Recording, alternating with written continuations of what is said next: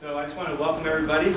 Um, my name is Coach Robb, and it's good to be back. Uh, for those that were in the first presentation, it's good to see you again.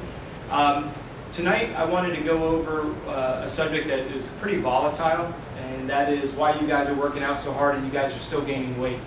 Um, in the last uh, presentation, we talked a little bit about how stress kind of drives the body, and that's we're going to spend probably 15 minutes reviewing that for those that weren't at the first uh, presentation.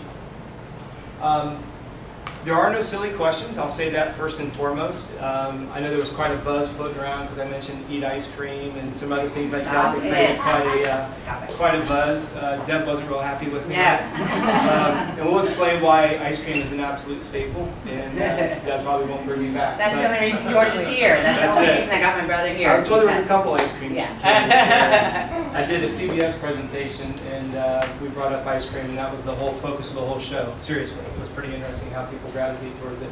Um, but what we're going to do is we're going to kind of break down some of the bureaucracy and BS associated with what works and what doesn't. You know, you've, you've heard these words, carbs, protein, and fat, and you know, Monday protein's good, by Friday it's bad, fat's good, fat's bad, what are you supposed to eat anymore? Um, one of the things I want to do is I, I want to demystify how your body works. I think there's a lot of misconfusion out there. High intensity, low intensity. I don't know how much you guys like to educate yourselves. Uh, my biggest nemesis is the internet because everybody's a pro, everybody's a professional, and everybody's pretty much wrong, unfortunately. Because they usually are on an agenda. Uh, they're trying to get you to buy something, whether it's a bar or a can of something. Um, what I want to do is educate you guys on what's going on in your bodies and how you're training it and how you're feeding it and how it's either going to result in you're building muscle and burning fat or you're putting on more fat and not burning as much muscle, which leads to a lot of frustration and usually quit. You know, that's just the reality of it. So the first thing I want to do is get you guys to understand when we look at food, we look at it as carbs, protein, and fat. And some of you have may have read about it. That's considered a macronutrient. And I always want to give you the terminology that goes with it. So if someone throws out, oh, what are your macros? This is what we're talking about, carbs, protein, and fat. When you look at um, the other side of the coin, when you look at uh, vitamins and minerals, it's pretty simple. It's fruits and vegetables. Okay, so what you don't realize is when you eat something that has carbs, protein, and fat in it, the vitamins and the minerals are actually what we call catalysts of energy. I know you may not like science, but don't make it any more complicated. These cannot convert to energy unless you have a presence of vitamins and minerals. So if somebody says to you, oh, I don't eat bananas because they're high in sugar, they're wrong. Okay, because there's vitamins and minerals in a banana. Now, yes, you can get it from a kiwi, just like you can a banana. There's a lot of overlap in that regards. But I would, I would encourage you to not go into an absolute silo and say, I'm not going to eat any fruit. I'm on a no sugar diet. Because you've got to think about the generation of energy. That's why you're in here. And I see this happen quite a bit. Your intentions are really good. And then you get in here and you literally, your energy is just waning. And you're like, gosh, what's going on? You know, I'm on a high protein, low fat diet. I don't have the energy to finish my workout. A lot of times this is what's missing. Because somebody wants to sell you that there's too much sugar in fruit. That's crazy okay? If you look at uh, how all the, all the uh, when you look at the category of food, how it all integrates with one another, these cannot exist without these and vice versa. And what you guys are all about is you want to go out and you want to lift and you want to do cross training and cardio, the rower, the treadmill, and everything else that's out there. If these two aren't working together, you're always going to have some piece of the puzzle that's going to be missing, okay? One of the things that I want you guys to understand is when we look at food, food completely dictates quality of sleep. And for those that were in the last presentation, you know how I'm going to present. We're going to throw some, some various topics, and then we're going to bring them all together so you'll have that aha moment where it's like, okay, I know what a macronutrient is. I know what a, this is actually a micronutrient. Sleep is derived from your food. So if you go to bed hungry and you're starving yourself, and I mean that kindly, you're eating a low-fat, no-fat, low-calorie diet, there's a hierarchy of needs where your body is not going to go to sleep. All right? And when you get to sleep, there's three levels of sleep, and most of you have seen it before. It's just REM 1, 2, and 3. REM is just rapid eye movement. Level 1 rejuvenates the brain, and level 3 rejuvenates the body. This is what we call a transitional phase.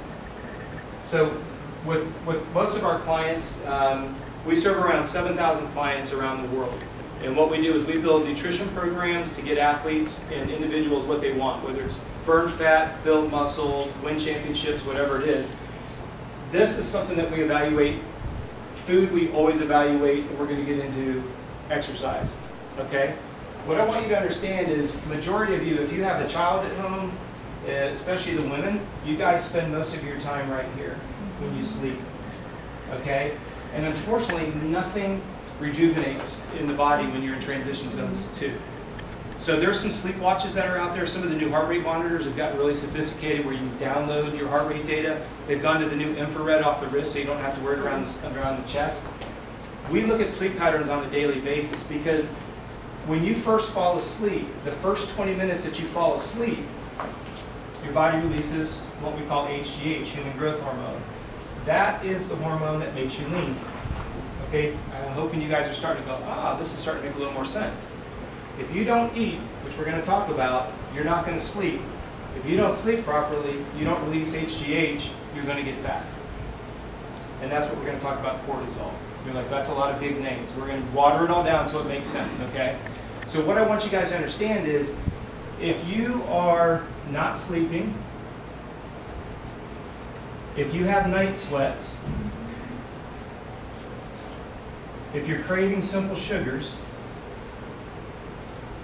and you have a low sex drive, your adrenal system is under attack. And you go, okay, another big word, adrenal. Well, let me complicate it with an even bigger word. It's called the parasympathetic system. You guys know it as fight or flight. You almost get in a car wreck, tires screech, all of a sudden you get that flush feeling. Well, that's cortisol dropping into your system because your adrenal system is like, oh my gosh, I almost got in a car wreck. What hurts you is when you get high levels of cortisol in the blood, it is literally a fat magnet. So you can be in your training, your brain's out, you can be dialing in your nutrition. If you don't manage stress, your blood cortisol levels are going to go up and you're going to start to get heavier. Okay? Particularly for the women that are in the room, think about it. When you got pregnant, you ate perfectly, you exercised diligently, you slept religiously, you even gave yourself a nap, and then you gave birth, and what'd you do? The antithesis of all of that. You ate what's left in the jar, you don't sleep at all, you don't exercise, and, it just, and so what happens is all of these variables start to work against you. Because you're not sleeping, so you're not releasing HGH, you just got heavier. Okay? You're not getting enough food, so you're not sleeping, so you don't have enough energy to exercise, you're getting heavier. You say, well, wait, Robb, we're coming in here talking about why are we exercising and still gaining weight. We're going to talk about it. We're going to bring it all together. But I wanted to kind of review for those that were at the first presentation and then bring the rest of you up to speed. If you don't get enough carb, protein, and fats, you're not going to sleep well. If you don't get to sleep quickly, your body doesn't release HGH. And it's not hard. Think about this. The quicker you get to sleep, the more HGH you're going to release. The sooner you're going to release it. So you want to get to sleep, but you want to get into the deepest level of sleep as quickly as possible because then when you guys come in here and you tear the tissue down, that's where the rejuvenation comes in. Now don't misconstrue. Your body at level three of sleep is rejuvenating, but it's using the food that you ate. Those two together is what creates lean muscle and burnt body fat. Don't want you guys to make it any more complicated than that. Think about it this way. You lay down to sleep and you stare at the paddle fan all night long. You're not getting into this room. You're not even getting into REM 1. You're staying right here in 2. You go, well, why would it skip 1? That's just the way the body works. It's a transitional phase. It's saying, do I go into 1 or do I go to 3? We have, we have um, graphs that we can run off of uh, heart rate watches, and it'll tell you how much time you spend in REM 1, 2, and 3. And we've had athletes and what we consider our, our general fitness, they'll spend the entire night in REM 2. So you're talking eight hours of laying there, and you think you're doing a great job, you're doing your body a service, and you're not getting anything out of it. And that becomes a huge eye opener for a lot of people because what I do is I drive it back to carbs, protein, and fat. Okay? If you guys are taking notes, this will probably be the most important thing that you're going to get out of what we're going to talk about tonight, which is a segue to the ice cream. Okay? The only thing that satisfies appetite is protein and fat. The only things that satisfies hunger is protein and fat. So if you're on a low-fat, no-fat diet, that's why you're always hungry. That's why we need something with no fat, you're ready to eat 30 minutes later. Nothing is satisfying your hunger because protein and fat are the only things that satisfy appetite. So to Deb's joke about the ice cream, okay? I don't care where you get your protein and fat from. If you want to be good and do an avocado and an apple, go ahead. I like ice cream, it has protein and fat. I'm doing ice cream before bed. Do what you want. Okay? Now somebody will yell, well, there's a lot of simple sugar in it. You've got to go with a high quality ice cream. Okay, because a high quality ice cream like a Haagen-Dazs or something like that has a lot of fat and a lot of protein, and that brings the sugar content down of the ice cream. So if you were to go to the store and you get one of those rounds of, of sherbet, like those little orange, pick it up. Notice how there's it's so light. There's no density to it. Where's the density come from? Protein and fat. So when you pick up a little pint of Haagen-Dazs, you know it's quite heavy. Now you know why. Because there's true density to it. Okay? That's what I want you guys to understand. So before you go to bed, 15, 20 minutes before bed, I want you eating something that has protein and fat. You can do ice cream, you can do avocado, you can do an egg sandwich, you can do whatever you want. Because what am I trying to get you to ultimately? Right here. See, the sleep is preceded by the food, not the other way around. And so when you lay down at night, there's a hierarchy of needs. It's thinking to himself, okay, I know she wants me to go to sleep, but I'm hungry, so it keeps waking you up. That's why you have headaches. That's why your stomach growls. That's why you sit there and you toss and you turn. And you're like, I'm just, I got to be dedicated. I got to be disciplined. So you lay there and you starve all night long, and then you stay in transition phase. You wake up and you haven't helped yourself at all. You see how that works? So whenever we have somebody that comes to us with these issues, what we do is feed them high quality fat. Avocados, extra virgin olive oil, raw coconut, raw nuts, just real food. There's no fancy, that's what I'm trying to get you to understand. There's nothing fancy about it, it's just the truth of what, if the adrenal is under attack, what you're missing is essential fatty acids. You guys will see it, you know, the acronym whenever you guys go online. And again, people will say to me, well, um, how do I know when I'm out of adrenal fatigue? Well, I look at it the other way. If you have one or all of these, you have adrenal fatigue. Because if you can't sleep, people say you're overstressed. If you have night sweats, you're premenopausal. If you're craving simple sugars, you're about to have your cycle. And if you don't have a sex drive, it's because you're not 18 anymore. There's always some lame excuse for everything that's up there. And the people that were here last time heard the exact same comment, okay? Because I've seen it for 33 years, all right? This, whether, and I know some of the females will say, yeah, a guy can turn this on and off, okay? But for the most part, when your body goes through its normal cadence, circadian rhythm is the official term of it, you should be tired after spending an all day working and, and working out and doing what you do as a human being. You should be like an infant. When your head hits a pillow, you should be out. You should be out. And you should drop into this real fast. Okay? Um, night sweats, again, if you're not if your adrenals aren't getting enough fat, you're gonna sweat. It's just the way it is. Okay? Now, I don't want anybody to start throwing darts at me, go, well, my doc's got me on topical cream and I'm on injection for hormone replacement. I'm not trying to supersede the doc, I haven't seen your blood work, but I will tell you, I've seen a lot of prescriptions for topical creams that aren't necessary. We've, we've changed more with food than we have with topical creams. I'm not overriding a doctor. Please don't go out there and say, oh, Coach Robb, you fix the doctor. Simple sugars, again, particularly you women, you guys get accused of having a sweet tooth on that time of the month and all that. That's not what we're after. I'm talking if you don't get a piece of cake, you're going to hurt somebody. That's the kind of hunger I'm talking about. And then again, this takes care of itself. Um, you know, there should be a natural urge for that. And that's all there is to it. It's hormonally driven, hence the word the adrenal system. So to keep the adrenal system firing on all eight cylinders, we need high quality fats.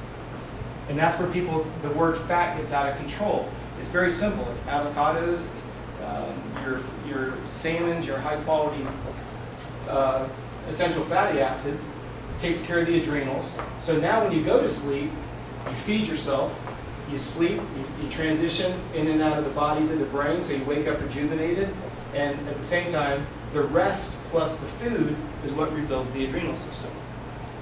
Okay? The one thing that I want you guys to understand, and particularly, and I don't mean to keep picking on the, I'm not picking, I'm leaning towards the females, is you guys are really, really stubborn. Um, if it was up to guys to reproduce, we'd have like seven people in the world. I say that every time I speak because your tolerance for pain is way, way, way out of normal. Okay? And the reason why I say that is if you're going through these struggles, you just chalk it up to something else. That's just the way it's supposed to be. When we get over to exercise, if it's not blood curdling difficult, you don't think you've done anything productive. That's just your mindset. I don't know if it's from having a child or what it is. But maybe starting at, you know, when you hit puberty. The thing that I want you guys to understand is you have to listen to what we call biofeedback indicators. If you're laying down and you can't sleep, I don't know how much more of a red light you need. Okay? If you've got night sweats, I mean, how many more indicators do you need? You've got two of the four already, okay? And then you get down to the simple sugars, you're like, oh yeah, I've got that. Well, how many more do you need? If you've got one, you've got them all, as far as I'm concerned, okay? The way to feed it is with the essential fatty acids. And if you understand the idea that you need to be eating these macronutrients with essentially fruits and vitamins, excuse me, with fruits and vegetables, these two work together to satisfy appetite. You're going to sleep deeply, and then you're going to feed the adrenals. The, the next variable that we want to look at is the amount of stress that you guys have in your life. And most of us think about stress with bad relationships, a job that stinks. You know, we've got our kind of our common things. I want you guys to think about these three variables on top of that. We just broke them down individually. The reason why I say that is when we look at food, we look at food in two capacities, very simple, quality and quantity. Once you clean up the quality, and that's why I put the calories up here, if you're eating lots of fruits and vegetables and you're eating a lot of protein, it's not calorically dense, okay? Um, tomorrow morning, I want you guys to go and make four extra large eggs. I don't care how you do it. Scramble them, omelet it, sunny side them, poach them, doesn't matter. Four extra large eggs only has 300 calories. But look at the volume of food that's on your plate. You're like, oh my gosh, roll me away from the table, okay? So when we're looking at food and we look at quality and we look at quantity, what ends up happening a lot of times is you kind of feel like you're at the feeding trough all the time because you're eating every couple hours. That's what we have all of our clients do is they eat every two hours from the moment you wake up until you go to sleep, every two hours. And we've all heard the stories, you know, small versus big meals. Just graze all day long. And we're going to talk about stabilizing blood sugar because that's really what you guys are looking for. If your goal is to lose weight, then you've got to stabilize blood sugar. Why? Because once you become hungry, you're like a Tasmanian devil in that pantry. Mm-hmm. Okay, and what's in the pantry? All carbohydrates. Nothing in a pantry, in fact, your pantry should be pretty much empty except bottled water. Because it's just, we're going to talk about that in a second on how to shop, okay? Because that's where you're going to go to when you're hungry, you've been at work all day, you're hungry, what do you do? You tear into that pantry, what's in that pantry? Crackers. Bag of chips, crackers, and we're, for those that were in the last presentation, you know how to shop now, and we're going to talk about how to do that, okay? But what I want you to understand is when we're looking at stress, yes, you've got a bad boss, bad relationship, financial stress, relationships and all that go with it. But what about your food? Are you getting enough quality, i.e. fruits and vegetables and lean meat, and are you getting enough quantity? My experience has been you don't eat enough. Which, if, if you've struggled with weight your whole life, that seems completely counterintuitive. You think eat more and lose weight? Absolutely. Absolutely 100% yes. Because of these things that we just talked about. You will, you will start to burn fat like nobody's other. Sleep, same thing. We look at quality and we look at quantity. Ideally, eight hours of sleep. Optimistically, 10 hours if you can get a two hour nap. Okay? Because people say, well, if you take a nap, you're being lazy. No, remember when you take a nap, what do you do? You release HGH. So every nap helps. It's going to make you leaner. You always will wake up from a nap leaner. Okay? Exercise. That's where we get into these right here. Okay? So for those of you that are taking notes, this is where we're going to start to tie it all in together, and I'm hoping you'll have that aha moment. When you guys come in and you exercise, you've got to ask yourself on a weekly basis, how often are you coming in, frequency? How long are you in here for? And what intensity are you lighting it up? Okay? Um, I'm not here to sell heart rate monitors, but I think everybody should own one. Okay? Heart rate monitors, as far as I'm concerned, tell us everything. And I don't care if you're um, what we call speed and agility, which would be a ball and stick sport, softball, baseball, lacrosse, anything that involves acceleration, stopping, reaccelerating, um, I think you should be with a heart rate monitor. If you're an endurance athlete, mountain biker, runner, triathlete, you should have a heart rate monitor.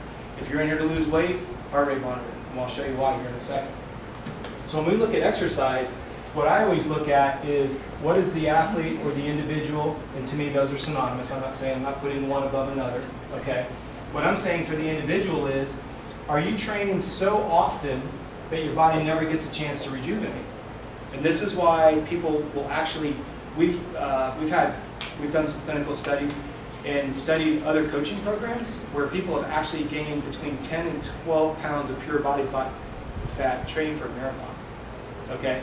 Because what happens is they train six days a week, they train way too long, and they train at too high of an intensity, which then overloads the adrenal system, The adrenal system produces excess cortisol, and cortisol is a fat magnet, so they gain weight. So what do you do when you start to gain weight? What's the first thing you're going to do? What's the first intuitive? Stop eating. Uh, stop eating. Okay? So now you stop eating, then you don't sleep, so you don't get into REM 3, so you don't produce HGH, so you gain more cort you get more cortisol in the blood, which then you put on more weight, so what do you do? You start exercising longer and harder. And now you've addressed, now you've roached the adrenals because you're not getting enough sleep and you're not eating enough. You see how this now becomes a complete circle for you? It's a very vicious cycle, and especially when someone, you know, all of you are in here with good intentions. You wouldn't be here otherwise.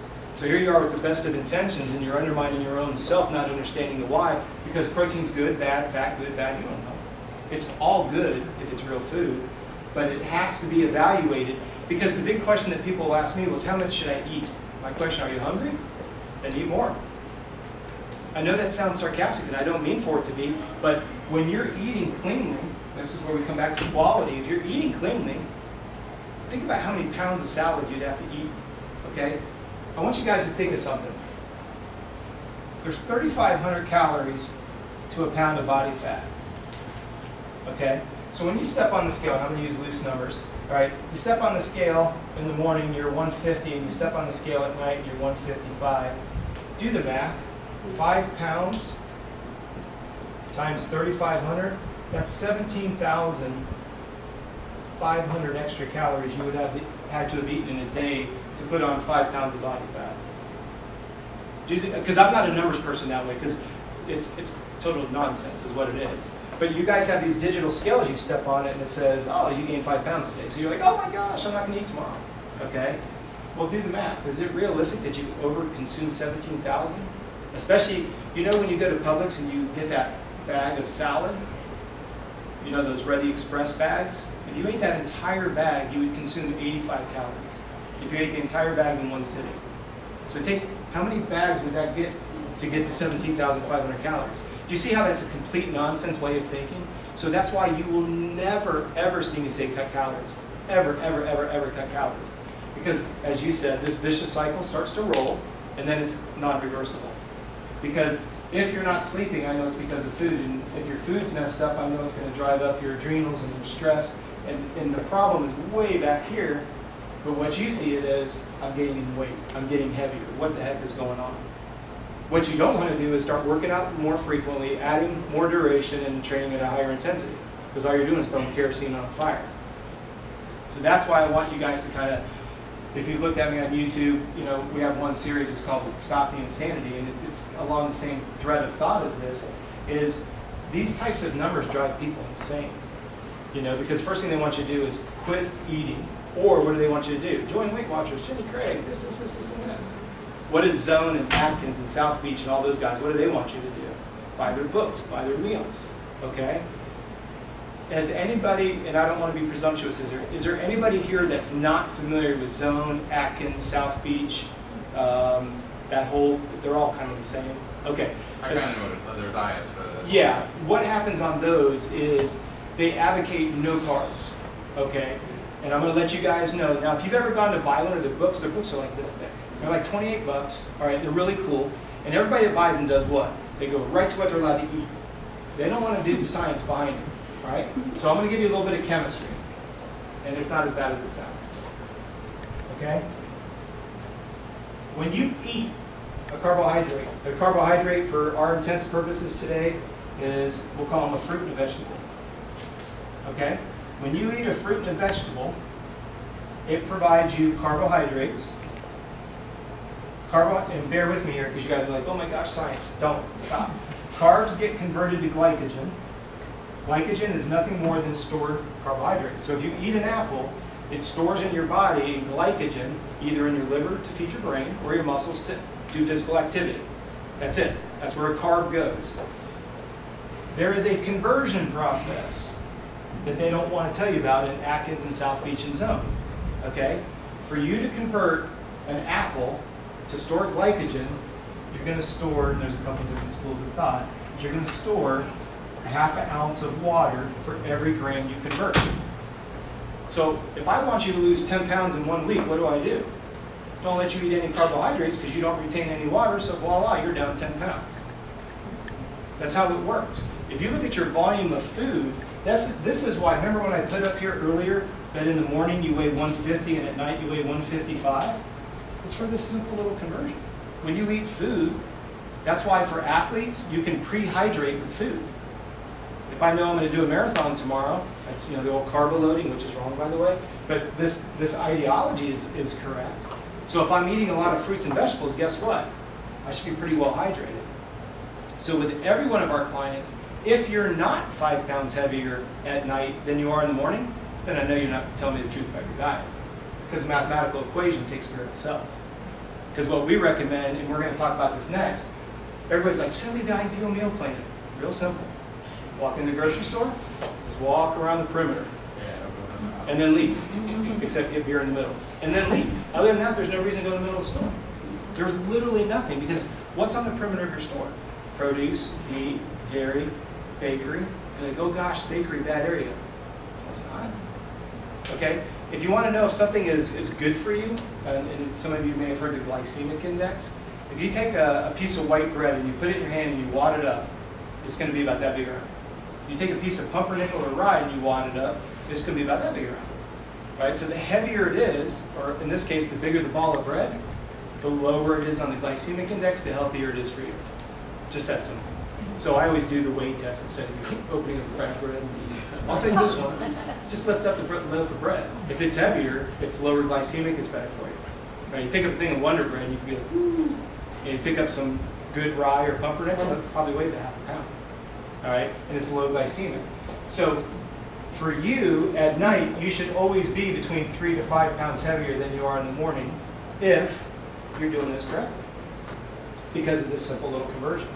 There's no way that you can store sugar in your system or convert food into muscle without there being a conversion rate. And that's where the chemistry people are like, oh, it's so hard. No, it's not. Okay? When you put gasoline in your car and you step on the gas pedal, there's conversion that goes out the rear exhaust. Think about it the other way around. You're trying to build something, right? So you've got to put the food in, and then there's got to be a conversion rate, and that's going to cause you to gain, this is by the way, didn't finish the, you're going to gain roughly a half ounce of water. Some people say it's 0.8, some say it's 0.5. I'm not here to argue over percentages. What I'm saying is understand that if you're eating fruits and vegetables, you should always be heavier at night than you are during the day. Now, the reverse of it comes in and says, well, how come I went to bed at 155 and I woke up at 150, but I didn't run all night long? Did I burn five? Because remember, if we do our 3,500 calories times five, did you burn 17,500 calories at night? Well, then why did you wake up five pounds lighter? Urination, digestion, respiration, bodily functions. So that's why I don't like these digital scales when you jump on them when you freak out because it's up five pounds. You know, like, it's got to be the same in the morning and the night. No, no, no. Should always be heavier at night. See the difference? You go, okay, Robb, so how do you measure body fat? You know, you, you guys want to be in, admonished to the scale, okay? We do have all of our clients on the scale on a daily basis. The reason why we get them on the scale is if you go to bed at 150 and you wake up at 155, yes, I said it that way on purpose. You went to bed at 150 and you got on the scale at 155, what we're measuring is inflammation and swelling, which is a byproduct of you tearing your muscles down. The way that we evaluate if you're building muscle and burning body fat, soft tape measure. Okay? And we literally, we do the left and the right side of the body. So we're doing left wrist, right, we're doing right wrist, right forearm, right bicep. We're doing pecs around the nipples. We're doing belly button. We're doing hip bone. We're doing center of quads. We're doing center of calves. Because some of you guys hold on body fat in weird places. And then we do all of this, which we're going to talk about exercise and shopping next. And then after six weeks, we go, well, at that tape measure. Either you dropped some body fat or you didn't. Now, believe it or not, wrist is a great indicator for body fat. Okay? And a lot of people don't think about that. Because, and I'm not trying to embarrass any female in here, but you guys lose two inches off of your, your, your chest measurements, you'll say, oh, well, you'll, you'll have some excuse for it. You know, if you lost, quote unquote, the back fat, you guys always refer to it as back fat, um, you'll burn it, but then you come up with another excuse. Well, I'm down two cup sizes. All right, you win. The bottom line is you lost body fat. Okay, and I said this in the last presentation. I've gotten yelled at by husbands because I can't tell you where body fat's going to come and go from. And all of a sudden she's two cup sizes smaller, and then the guy's like really irate at us.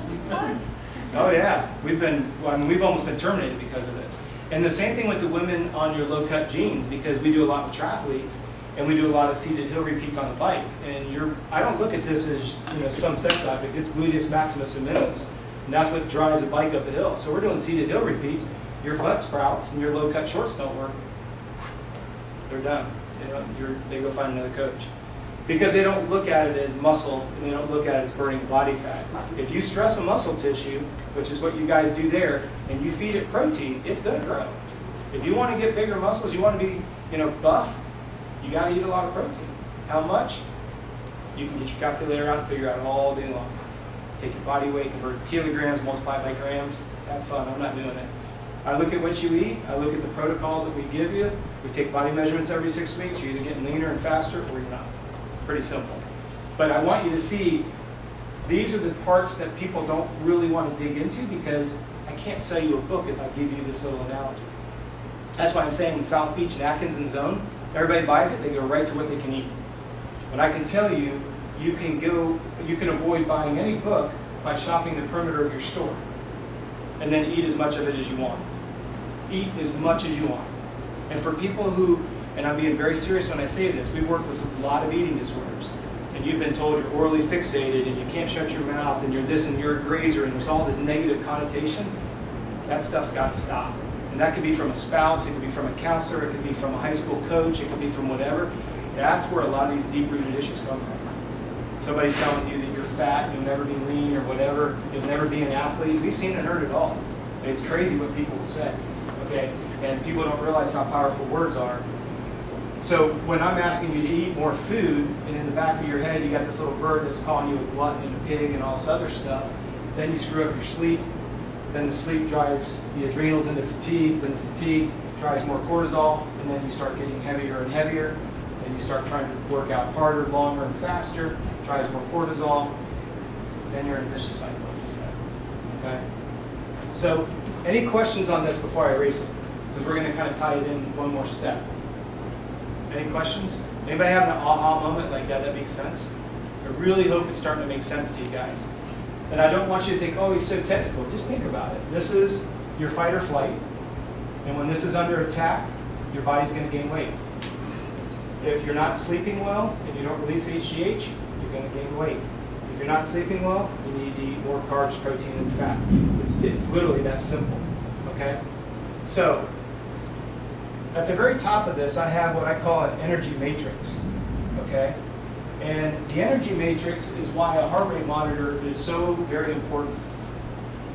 I'm going to go through it twice because I want to make sure you guys fully understand. When we talked in this category here, we talked about this in regards to food. You eat whatever you eat around the perimeter of the store. Everything that you eat is converted into carbs, protein, and fat. So when you read your label, if you want to know how many um, how many calories are in something, they'll say that this particular piece of bread has four grams of carbohydrates, which means four grams times four calories per gram, you're going to get 16 calories. You keep doing the math and you end up with a total. Okay, so now you guys know how to read labels. People are like, labels are hard. No, they're not. It's a simple mathematical formula. If it says it has four grams of carbs and there's four calories to every gram, there's 16 calories. You add them up, that's how many calories that particular food item has. You go, why is that important? Because if it doesn't have fat, put it down. You need to eat full fat everything, all the time, full fat. Get rid of lights, get rid of fat frees, get rid of everything. What is it that they're taking out? And that's a stupid question if it's fat free, right? The only thing that satisfies appetite is what? Yeah, so that's why you're hungry all the time. And when you're hungry all the time, you're grumpy. When you're grumpy, your kids don't like you. Your spouse doesn't like you. You don't like you. So why are you taking fat out? Okay? But the key is, is the quality of fat has to be good. Okay? Shop the perimeter of your store. That's your good fat. Avocados, salmon, your lean meats. See how easy this is to fix? If it's in a can, a box, or a bag, don't eat it. Very simple. Which eliminates 98% of the grocery store. Now you go, that's unrealistic. You know, I've got to have my brown rice. Or, I'm not, I don't live in this you know, glass house. Choose your battles. All right? The one thing I want to say about when you're combining foods is, like for example, I will not eat brown, uh, uh, what do they call it, wheat spaghetti. That's like carb. Don't even put it on my plate. I'm not going to touch it. I don't care how bad it is for me to eat white. So what I'll do is I'll do just a little bit of white spaghetti, but then what I do is I make a meat sauce that's high quality lean meat with stir fried vegetables and everything else and some red sauce, and it's like a 10 to 1 mixture. So what I do is I bring the sugar content down of my bad white spaghetti, but I'm inundating it with high quality fat and protein loaded with vegetables. So I'm getting my microvitamins, I'm getting my protein and fat, and I got some carbs that taste good. You know, yeah, they're not the best, but if you want to be all hellfire and brimstone, go for it. I'm not. Life's too short, It's like ice cream. We should have it.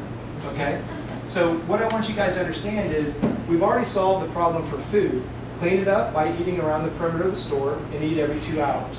If you get hungry, eat more the next time you eat. So for example, um, we'll have our clients maintain a food log for one week. You go, oh my gosh, another full-time job. Just do it for me for one week. And then what we do is on our food log is you document what time you ate, how much you ate, and how you feel 15 minutes later. There's the key. Because if you've eaten something and you're doing the old head nod at your desk, you know, or you're driving and you're about to wreck your car, you're having an adverse reaction to something that you ate. I don't know what it is. If it's if it's eating around the perimeter of the store, usually those conditions will take care of themselves.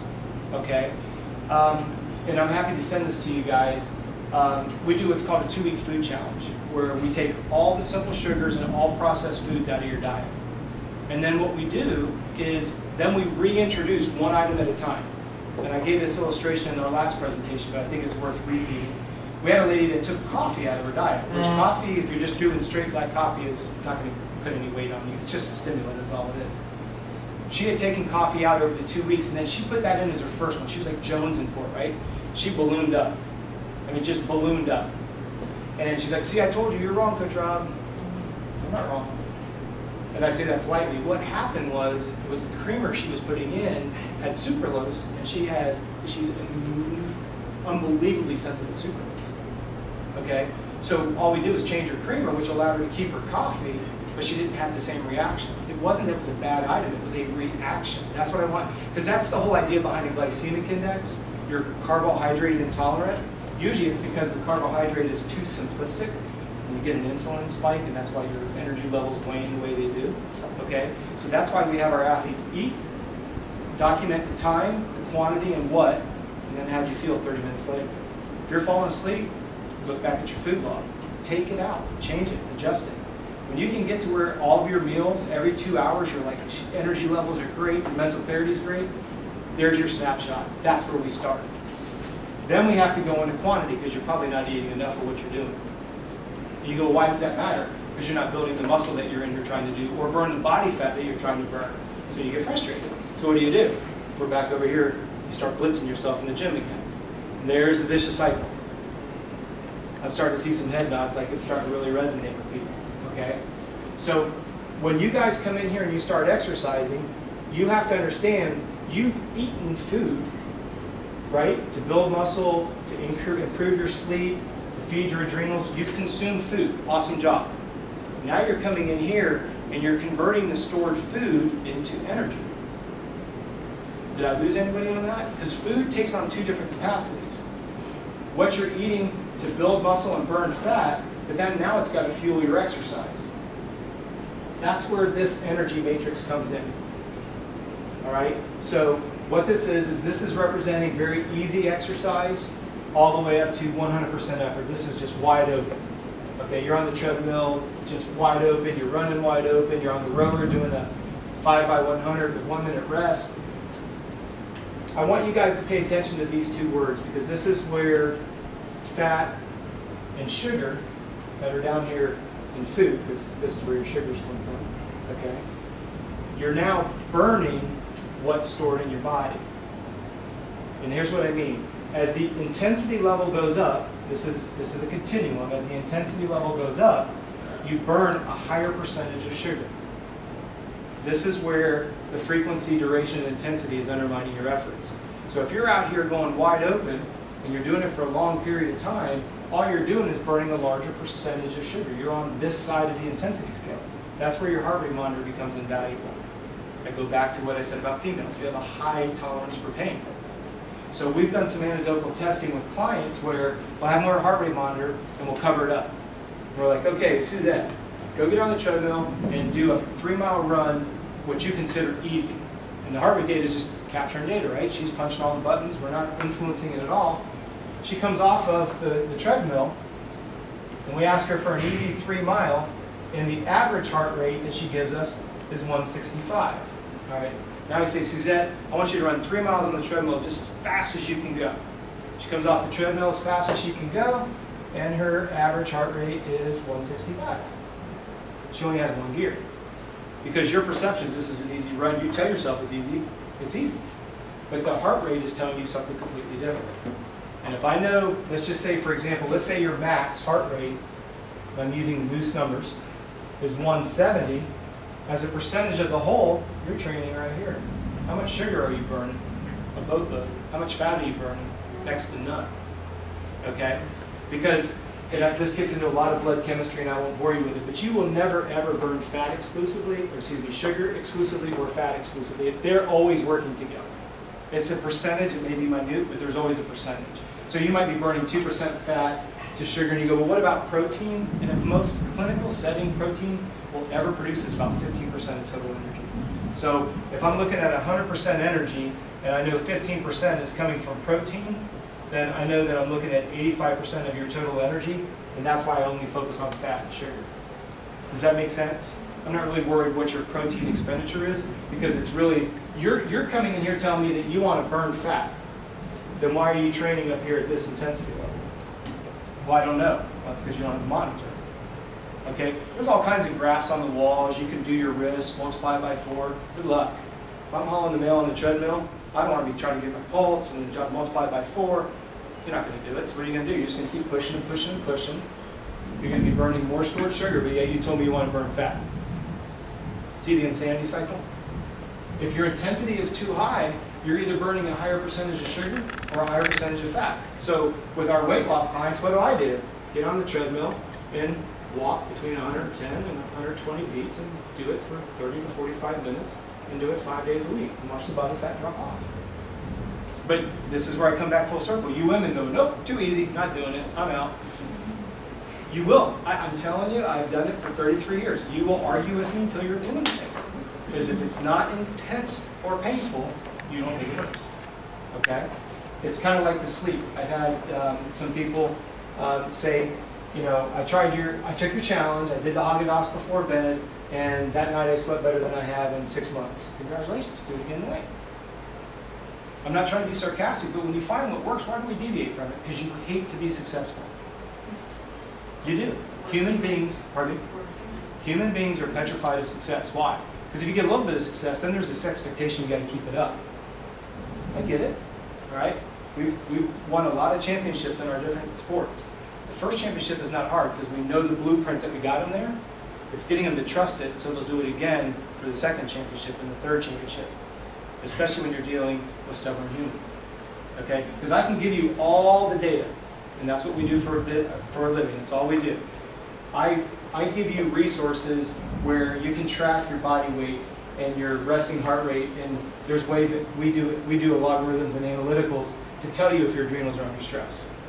Okay, you just have to keep track of three data points, and we do all the analysis behind the scenes. We can look at your sleep logs, and we can tell you whether or not you're getting into burn one, two, or three. So we can tell you if you're going to be burning more body fat.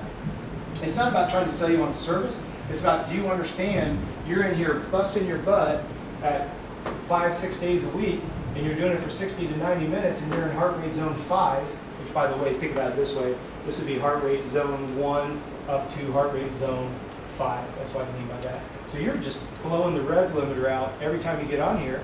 So this is too often, that's too long, that's too high, so you're burning more sugar, and then you say, I'm just destined to be fat, because I'm not losing any weight, and I'm training six days a week for 90 minutes, guts to the wall. And then when I don't lose weight because I'm burning more sugar and not fat, I'm going to go ahead and start starving myself, which then I interrupt my sleep, which then produces more cortisol, and then I'm destined to be obese. Because my dad was, my mom was. I'm genetically dispositioned. Okay? I don't know, I don't have any polite way to say it. Um, I'm adopted, and I can tell you that both my parents are morbidly obese, and I was up till seventh grade. Okay? And it's a cool little story, but um, the bottom line is, is the stuff I'm sharing with you is when I made it to the Olympic team for triathlons. So this isn't my opinion. This is stuff that comes from some of the best physiologists in the world, and they have nothing to sell us. That to me is why I started to grab onto it and started sharing it with people.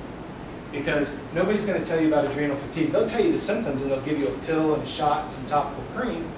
I don't want you to go here.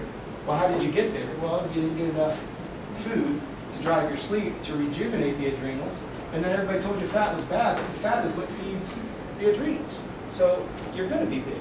You're going to be heavy. You're going to always struggle. And then what, what breaks my heart is then you come in here and you start to exercise and you can't even go for 30 minutes because you're wide open. You're not, a, you know, I will say this. If you're a 5K specialist, three mile runner, yeah, you've got to train up here if you want to be fast. But you didn't tell me you want to get fast, you told me you want to lose weight. What is your goal? So the first thing we do with all of our clients is you fill out a goal profile. I'm not going to tell you what to do. You tell me what you want to do, and I'll explain the science behind it, and we'll put together a training program, and we'll get you there. And I will tell you, you will not like me very much because of this. You guys want to argue with it. This doesn't, that makes so much sense you don't want to believe it. Okay? And, you know, going back to the, the sleeping through the night. I mean, I've had women that they've tried melatonin and they've tried Ambien and they've tried, what's some of the other sleep additives that are out there? Um, the truth of the matter is that stuff doesn't even put you to sleep. It puts you in a false sense of REM. Okay? If you ever go study any of those, Ambien does not put you to sleep. It puts you in a false state of sleep. So if you're taking Ambien and you're not actually getting to this level of sleep, you're going to get more cortisol, which means you're going to gain more weight. But you're so frustrated because you can't sleep. So you get into an altered state. You might as well get drunk. I'm being serious. It's the same level of state. You do not rejuvenate when you're drunk. When you fall asleep in an inebriated state, there's two things that are killing you. One, as soon as you put the first drop of alcohol in your mouth, you immediately stop your ability to burn fat. That's why drinking in the evening is really detrimental. The other side of the fact is you think that you're relaxed and rested, and you're staying right here the whole time on alcohol. Which is another reason why people gain weight. Oh, I just got beer belly. No, you're in transition, and you're you're stopping your fat burning ability. Doesn't mean don't drink beer. I'm just saying, you know, you got to choose it smart. When it comes to drinking alcohol, you've got to have a lot of protein and fat in there because it brings the sugar content of the alcohol down. That's just, I mean, we can talk about this for days and days and days. I just want you guys to understand when you're exercising extremely hard, you're burning sugar, not fat. When you guys go on a low fat, no fat diet, you're interrupting your sleep. When you don't sleep, you put on body fat, put on body fat by driving up cortisol, and then you fry your parasympathetic system. And then here's the things that start to pop up, and we ignore them. And then what do you do? Well, I'm gaining weight, so I'm going to go back up to here. Push these three elements. And go back to the average here. Most of you guys are working out way, way too hard. But if I ask you perceived versus actual, it's not going to be very far apart on the scale. Make sense? Or is it clear as mud? Any questions? Far as the REM, I I heard that uh, as long as you dream, that you're in REM free. Is that correct? Yeah, it's a fair, you know, it's a good, it's a good benchmark. It's a good benchmark. Um, some people argue because it seems counterintuitive. If you're dreaming, you would think it's in, in the level Right. one. My thing to your point is at least you're in one or three. What I always say is, not to be argumentative with you, if you don't have any dreams, you probably were in three. If you were dreaming, you probably were in one. But to your point, you had dreams, that's a good sign. At least you got one of the two, okay? Um, one of the things that I want you guys to think about is when you wake up in the morning, I know most of us have to wake up to an alarm, but if you can avoid it, try not to wake up to an alarm. Okay, because if you're down here in REM 3 and that code red alarm goes off, it's going to drive cortisol up in your blood as soon as that alarm goes off. And that's another problem. Look at firefighters, look at police officers, look at uh, medical people. Their cortisol levels are through the roof. That's why we have such an obesity level with our service. You know, because they're always under pressure, they're always under the gun. I mean, poor firefighters and paramedics and stuff, I mean, just they try to get a cat out here and goes off again, and I think they're doing 24-hour shifts, or I don't know if anybody's got a paramedic here, but I think it's 24 on, 48 off or something, their cortisol. And then their circadian rhythms are all goofed up, you know, so then it's just a vicious cycle all the way around. So what a lot of those men and women do, they try to work out to try to put themselves to sleep, but all they're doing is they're overcooking the system because they don't take the time to eat, because they're always on the run. And I don't want you guys to think I'm just making some blanket statements. Look at these different industries. What is it that's lacking? Lack of sleep. What's your sleep patterns like? Interrupted. What's the stress level like? Very high. You know? And, and I go back to, especially for the females, look at how lean, I always say, look at what your, your body weight was in high school before having children, and then look at where you're at now. You got this grandiose idea that being an adult is a cool thing, and so now all of a sudden we have children, we have jobs, and we have relationships and all this other stuff. This is just going through the roof. This is getting beat to death, and this is non-existent. We get heavier and heavier and heavier, and we go, what happened? Stop eating, stop sleeping, stop doing this. Because mom and dad used to do all this for you. Pantry was always full. You knew you had to be in bed by nine o'clock. As much as we hated it, were all were lean. Some may be bigger, thicker bone than others, but we're a lot leaner than we were now. That's for sure. And you have to understand that this has been going on in your system now for however many years old you are. And if you guys would, you know, start training with a heart rate monitor. And by the way, all these resources we have available to you guys for free. Because my big thing is knowledge is power. You know, like I said, um, what you'll realize is to, to start to track these uh, variables, it's not hard. And we have all those spreadsheets that are designed to program and read them and interpret the data for you. But that's what we do. You know, that's why we, uh, we create nutritional programs to get results that you guys want, whether it's burn fat, build muscle, athletic performance. Um, you're not going to find on our websites, you know, 13-week fat loss program. There's, I got to know what your what your sleep patterns are like. I need to know what you do for a living. Um, I'll give you an example. We have a 17-year-old world champion that we work with, and he takes two rest days a week. And if you look at it mathematically, you would think, well, he's 17. You know, he's full of testosterone. He's got all this going for him. We did all kinds of studies, and we gave him a second rest day, and his performance went through the roof. Okay. So my point is, you can't just take one generic. go, Oh yeah, I'm 43, so I should do this. Screw that. That is so wrong. Uh, the other thing that I want to warn you about on this right here, some of you um, may have a been aware of it. There's a 220 minus your age, plus or minus your resting, uh, plus or minus your resting heart rate. Please do not use that. It is completely wrong. Um, I'll give you an example, and I, I mentioned this in the last presentation as well. I have two clients, uh, same age. At the time, they were 41. The male, Bill, is literally six foot seven, and Wendy is literally five foot tall. Her max heart rate is 210, and Bill's max was 172. All right. So if I use this formula, 220, they're both the same age, plus or minus the resting heart rate. The number, like for example, Wendy would have to walk to stay in heart rate zone three, where Bill's head would be coming off of his shoulders in the same number. You go, why does that matter? Because of this percentage. Are you burning more sugar or more fat? So in that case, it, they, they both do Ironmans. The idea here is we work on strength to weight ratios and VO2 max and all kinds of an, analytical numbers. The idea here is this margin of error is probably 50%. So my point is, I don't want you in here on the treadmill thinking you're down here, and you may actually be up here, as it was for, for Wendy. Okay? That's why I don't like you guys to use generic formulas. Um, we try to take the guesswork out of it by giving you the tools. The tools are free. It's not like we're trying to sell you anything. I just want you to stop the insanity of what you're doing. You get frustrated and you're like, it's just not working. Or you think the gym doesn't work, or you got to change gyms, or you got to change chainers or something. No. Start with this. Start with this. All right? All right, any questions? Yes, ma'am. So you're talking about shopping the perimeter. Um, what about yogurts and cheese and peanut butter and oatmeal and? Yeah, it's all good stuff. Okay. You know, um, you bring a particularly oatmeal. I like that one a lot. You know, if you're using the, the cold cut, you know, the, the original, um, that's why kind of where there's some of those exceptions. It's not like you can find that in the perimeter, but at least it doesn't have any artificial sugars or sweeteners in it or anything or um, preservatives in it. Um, those are all good. Yogurts, full fat. Okay, milk, full fat. Um, any other questions on that? Because I want to elaborate. Full fat is where it's at. Anything else in the middle of the store that I may have forgotten? Because oatmeal is a good one. I'll add that to my presentation. That's a good enough. Nuts are.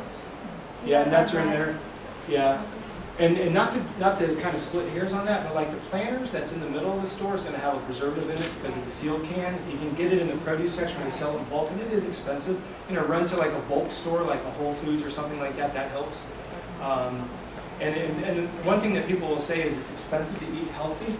And we're actually doing a video series right now on how to eat on $4 a day, okay? Because like if you go to BJ's and you buy, like you may laugh, but I have two sons, and we buy 60 eggs and we go through them in a week, okay? But the 60 eggs are $5.40. You divide that by 60, each egg is like a penny and a half. And yes, we eat 10 at every meal, but the idea is it's not expensive. All right? Along that thread of thought, when it comes to a protein source, unless you have some kind of an allergic reaction to eggs, eat eggs all the time, particularly at breakfast if you can. I don't care if it's omelet, like I said earlier, any form of egg is an egg is an egg. An egg is indexed at 100. Okay? So if you guys, um, again, I don't know how much you guys like to self-educate yourself, but if you get, if you look up on the internet and you say, what is my uh, turkey breast, boar's head, uh, what is the amino acid profile, and they say it's 86%. Okay? And I don't want to say a word you guys may not be familiar with. Amino acids. Okay? You do not build muscle by eating protein. You build muscle by absorbing amino acids from protein. So when someone says, I'm not going to eat protein, it's a huge mistake, okay, because it has too much fat, okay? The thing I want you to understand is an egg is 100%. When you look at amino acid profile, an egg is 100%. What does that mean? Every amino acid that you need to build new muscle, an egg has it. And you have to eat both the white and the yellow because there's aminos in one that's not in the other. You go, oh, but my cholesterol's high. Right? As soon as you drop simple sugars, your cholesterol will drop. Because high cholesterol is your inability to burn triglycerides, which are sugars. It's not your inability to process fat. The reason being is the way your body is set up is if you eat too much body fat, or excuse me, too much cholesterol, your body just produces less of it. It produces it on its own. Now, if you're on Lipitor and you've got a hereditary background of it, don't go home and stop taking Lipitor. First thing I'd encourage you to do is clean up your carb sources, which is get rid of anything in a box bag or a can.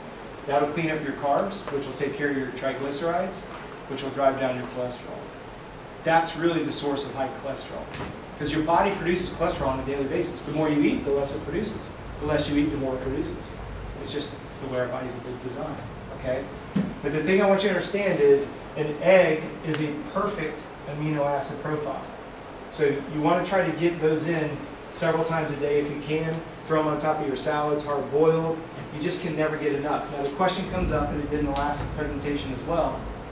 The question comes up, well, can I get too much protein? I've never seen it in 33 years. Okay? Because the big thing is, oh, well, I'm going to feel it in my kidneys, right? Because my kidneys are working over. As soon as your kidneys start bothering you, stop eating protein. I've never seen that. Okay? And then here's the other side of the coin. Oh, I'm gonna, I, I passed kidney stone, too much protein. That's dehydration. Okay? Dehydration is what causes kidney stones, not too much protein, because most of us are dehydrated. Your big question on, on water and hydration is very simple. Take your body weight, divide it in half, and that's how many ounces of water I want you to take in on a daily basis. Take your body weight, divide it by two, and that's how many ounces of water you should consume on a daily basis. However, that does not include what you lose in the form of exercise. So if I weigh 150 pounds, I should be consuming 75 ounces of water on a daily basis. All right? I guarantee you, unless you're really anal about it, you're nowhere close to that. Unless you've heard it before, you're the only one that should know. Otherwise, you, and then what we do is we add the exercise on top of that. And we have a sweat rate calculator that we use with all of our clients. And what it does is it takes your pre-weight, it takes your post-weight, it factors in the ounces of fluids, and then you get a percentage of either up or down. And tells you whether you need to drink more or drink less based on intensity, duration, and um, intensity and duration for this conversation. So this would be what you would want to take in from a water standpoint. If you're not getting enough water, you probably are going to have a struggle when it comes to sleep. Just an FYI for you. If you're having headaches and stuff like that, let's start with water. Okay? Any other questions, comments? Yes, sir. If you could get eight, that would be ideal. And I know it's difficult when you know you've got to be up by 6 a.m. to try to get to bed by 10. I know that's hard. The other side of the coin, and I don't know if this is, uh, is relevant to you or not, you may go to bed at 10, but then you lay there till 11, 15 at night. that's when I would encourage you to look at what you're eating before you go to bed. Because if you're not, you know, um, particularly for the moms that nursed, you know when you get done nursing how a child, you can pretty much drop him or her on their head because they're literally food drunk. Okay, that's what I want to, that's the level of inducement of sleep that we're trying to get on adults. You want that level of, you just cannot wait for your head to hit the pillow. Induce that with food. That's why I think ice cream's the best. Yeah. I want to say that after I listened to your seminar last time, I tried to um, do what you said about like every time you eat, you should eat a fruit, a vegetable, and a protein. Yeah. Um, so I went to Sam's Club and I meal prepped everything, Cool. and it was really awesome. Um, I felt a lot better. I was drinking more water. Plus, I was getting more water in just from the vegetables and the fruits and stuff. Awesome. Um, and last, the weekend before last, I was with my friends, and they made like all this food that was pretty unhealthy. And after I ate it, man, I felt so sick. Yeah, there you go. I felt like crap after I ate that food. For And people- real. And people don't understand how Yeah. influential food is until you clean it up. Yes. And in, in our position, I don't live in a glass house, so I'm not gonna slap your hands and tell you not to eat something, but in your case, you eat it, you feel lethargic, you don't wanna eat anymore. I literally was nauseous after I ate it, and I'm like, And I man, don't I mean to gotta get back on my, on my thing. clean it up, right? And I don't mean to embarrass you because you're young in the room, but, you know, the problem that you run into is you eat something and then you get gastrointestinal issues and raging diarrhea. I don't know why you keep eating it. That's why I say, we know what makes us feel good, but for some stupid reason as human beings, we do exactly the opposite. And then you get the results that you're looking for, so what do you do? You go 180 degrees and go the other way again. I have nothing to say, because when you come back to me in six months, I'm gonna tell you the same thing. I don't know what else to tell you. And so for some of you that are trying to lose weight as a goal, that's why I always like there to be a, some kind of an event. I don't care, go walk a 5K, go do something, because you've been up and down this roller coaster of hitting a certain size or a certain number, screw that. If you can lose the weight by doing what we're talking about, and you get a t-shirt for a 5K and a finisher's medal, that's far more important to you than what the stupid scale says. And the truth be known, you'll sign up for the next race and then the weight will just keep coming off. And now you're work, now you're focusing on something bigger than just hitting a scale or a size. And that's what we've had the most success with our weight loss market is, you know, you guys have seen the scale. All right, so you hit 155 again. Woo, been here 12 times. All right, I am gonna, I know I'm running over by 10, but I want to say one thing real quick. For those of you that have been on the yo-yo diets, I want to explain why Weight Watchers and Zone, not Zone, but Weight Watchers and Jenny Craig and all, that's why they're a multi-billion dollar business, and that's why they do memberships for life, because they know you're gonna fall off the bandwagon. All right, it's designed to fail. Sincerely, it's designed to fail. And let me explain to you why. If you're eating 1,500 calories, all right, and you go on Weight Watchers, and they put you on a 1,200 calorie diet, your metabolism is going to match 1,200 calories. Now, 1,200 calories are coming from their 3.2 boxes and their one drink and all this other crap, okay? But the idea is your, your basal metabolic rate will match 1,200 calories. It's what I call the tail of the snake. Wherever you put in in the mouth of the snake, the tail is going to catch up to it. So now you just slowed your metabolism down, right? You get tired of eating out of boxes and cans and whatever, so now you go up to 1,600 calories because you're starving. You're tired of being hungry. Listen to me really clear. When you decrease your metabolism from 12 to, from 1,500 down to 12, you slowed the metabolism down. Your body thinks it's starving. So when you all of a sudden decide that you're going to go up this extra 400, so now we're up a plus 400. Remember I said to you earlier that food produces nine calories of energy for a gram of fat? If I'm starving and I want the biggest ROI, return on investment, I'm going to convert everything to fat because I get twice as much energy, right? So now this 400 extra calories gets put on at 100% fat. Because your body's thinking, I'm starving, I'm in preservation mode, anything that comes in my mouth, I'm going to convert to body fat. So you go from, you started at 150 pounds, you got down here because you're starving yourself, you're not eating a lot of carbs, or remember the water, so we're losing water weight, right? Then you're down here, you go from 150 pounds at 1200, let's say you get down to 145, just for even numbers, you're tired of being hungry all the time, you go to 1600, you were at 155, now you're 158. Sound familiar? Then they then they start bugging with your head. Well, when you were on Weight Watchers, you were down at 145. You were losing all the weight. So you do this, and then you do this, and then you do this, and you do. And each time you just keep getting heavier and heavier and heavier. And you start at 150, and 12 years later you're at 178. Going, what the heck happened? It's not from there. designed to fail. You'll never win. Because as soon as you cut calories, metabolism drops.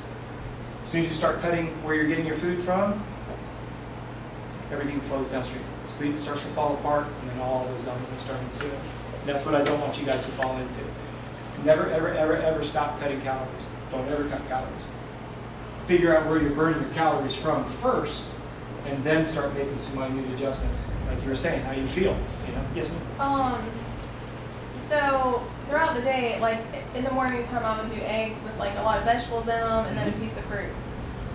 Throughout the day, I would have like chicken, the chicken tenders I would grill for protein, and then just different fruits and vegetables. But should we be eating fat during the day, or just like the milk or the ice cream at night, or like? Go back to what you said earlier when you were trying to do a carb, protein, and fat, like you just alluded to earlier.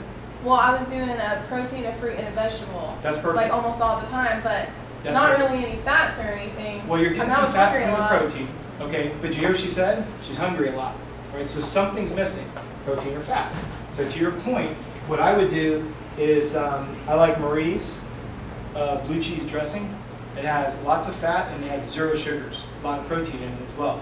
Use that as a dipping sauce. If that's not Okay. that's nauseating to you, find mayonnaise, full fat mayonnaise. Dip it in that. What's in mayonnaise? It's egg and oil. There's no sugar in mayonnaise. Okay? Some people think it's gross, but to your point, use any salad dressing. Okay. Now, again, you can be hellfire and brimstone and say, well, I have to have ranch. Go for it. What's it have? Like seven, eight grams of sugar in it? In the big scheme of what you're doing on a daily basis, make it palatable. Dose it, uh, cover it in extra virgin olive oil and some balsamic vinegar. Um, do your little Tupperwares where you can use it as a dipping Mhm. type of a thing. Okay. Um, but to your point, we always want to have some source of fat. Throw an avocado in there whenever you can, um, because the eggs don't have a lot of fat in them, mainly protein. Um, but I like what you said though. You were still hungry, so you knew there was something missing somewhere. Well, I was just I was just eating more, like you said, because I was like, well, you said I won't get fat for eating fruits and vegetables, no, so. no. And and not only to put you on the spot, but did you have you felt your clothes getting smaller? well, no, but it's the stress, Okay. the stress level.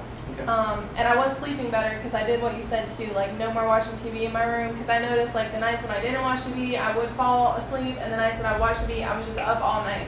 Yeah. Like I would fall asleep, and then the TV's off, and I turn it back on, and like just Yeah. so. Well, just so people know what we were talking about there, when you go to bed at night, no computers, no TVs, no cell phones, no nothing, because your brain, when it hears sounds, it wants to engage with that conversation. So you're never getting into REM three because it's trying to look for a conversation and an engagement. Same thing when you go into the kitchen. Don't watch TV, cell phones, or anything else. Chew your food because that's where the digestion begins, is right there. If you want to get more of the nutrients out of the food that you're buying from the perimeter of the store, chew them. I don't mean to be gross, but watch somebody at a restaurant. They'll bite, they'll chew twice, and they'll gulp. So now you're sending clumps of food down into your gut that that digestive enzymes have to break down.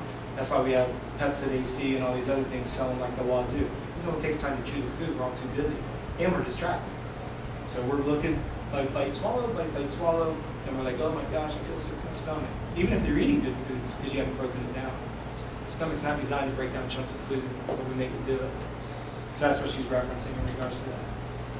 All right, well, thank you so much for your time. Oh, yes, ma'am, One more question. So I missed last week. Um, Yeah.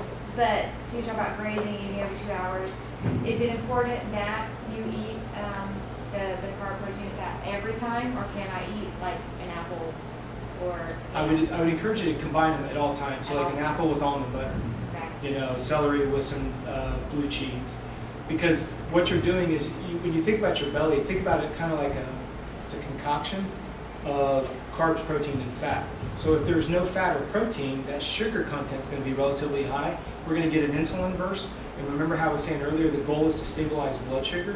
When you put a carb, protein, and a fat together, that will always produce the lowest common or the lowest glycemic index possible.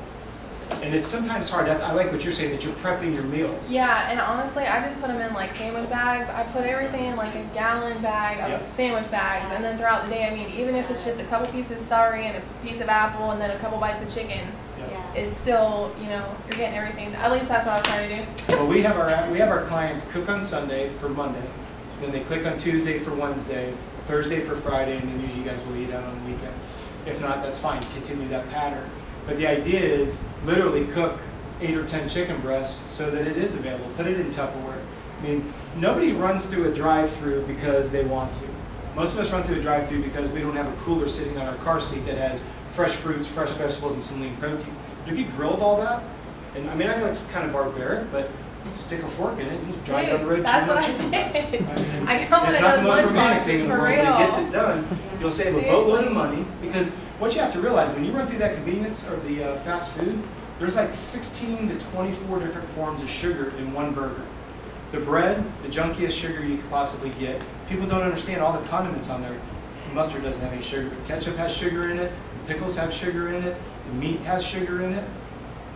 And so all of a sudden now, you've got a fry, another sugar, that's in an oil, which is another sugar. You go into the burger, which has four or five forms of sugar. Then you put more ketchup on top of it. Then you have a milkshake or a soda. I mean, you wonder why your bloodstream is just doing this. And it's not, I hate to say this, the fast food, it's not the fat that's in the food. It's all the junk, it's all the sugar. We have more of an epidemic associated with ingestion of simple sugars than we do fat, by far. Sugar is the most addicting thing. I, I think it's the biggest epidemic we have over any drug that's out there. And I'll go to bat against anybody on that. Give a little kid that is addicted to sugar and try to take him off sugar and watch what happens. He'll those walls like a spider monkey. I mean, he means business. I mean, look at that. It's like he's like a crack. He's like a crack addict. Now, I'm not saying that to be sarcastic for anyone who's battled addictions to drugs. I'm not. It's just to see little kids that are just jonesing when a parent's really trying hard to clean it up. This kid's like a Tasmanian devil running. And we don't realize how it's hidden everywhere. That's why the two-week food challenge is really helpful because it tells you what you can eat and what you can't eat. And what you're allowed to eat, you can eat as much as you want. And the truth of the matter is we just never deviate from it. You just start adding your little things that you must have. Like I like beer and wings. So I put it in. I don't eat it very often, but I like it. I've got, I'm glad you tell you it's healthy for you, but I like it. You know, every once in a while, it's okay. So that's why I'm saying you'll never see me say, oh, no, it's like gluten-free. Everyone's like, go gluten-free? If you can go gluten-free, good luck. It's hard. Now, anyone that's done it has always told me they felt better. But that, I mean, unless you've got somebody that's, you know, has a celiac disease, that's a lot of work. It's a lot of work to avoid uh, gluten. That's one thing I was supposed to do is uh, gluten-free, dairy-free, and it's really hard. Absolutely. It stresses me out for that. Sure. Just, Yeah. just that one. You're reading everything, and if you hit a little bit, it makes you sick to your stomach and all that. So. All right, guys. Well, I'll stick around for a few minutes if you have any questions that you weren't comfortable asking in a group. But thank you for coming out, and uh, we'll see you guys next month. Thank You're welcome.